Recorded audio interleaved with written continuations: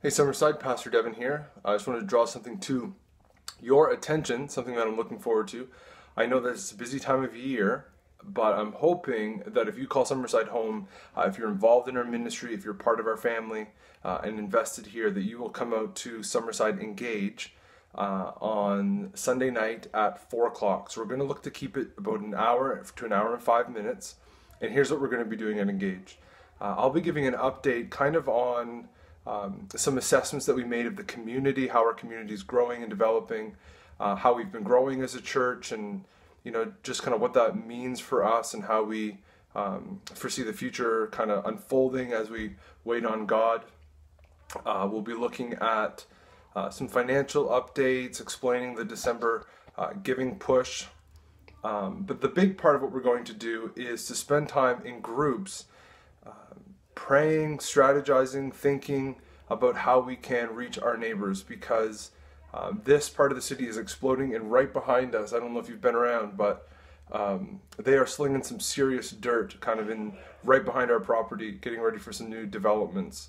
And so we want to be faithful and be prepared uh, in reaching these people. And so we're going to spend some time in groups, do some group work, kind of pool our ideas.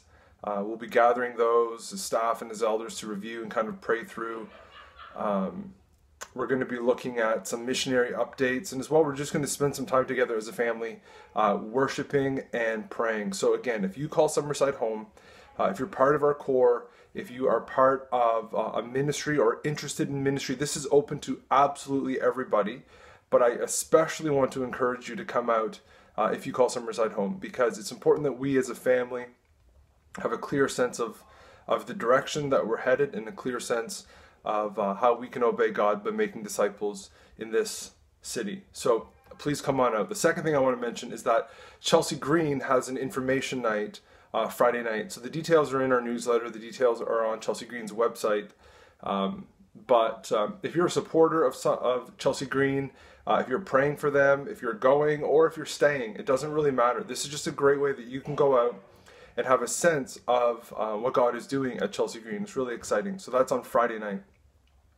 Anyway, Summerside, I will see you on Sunday. On Sunday, we're continuing our series in Exodus, and uh, I can't wait. It is a fantastic and very interesting genealogy.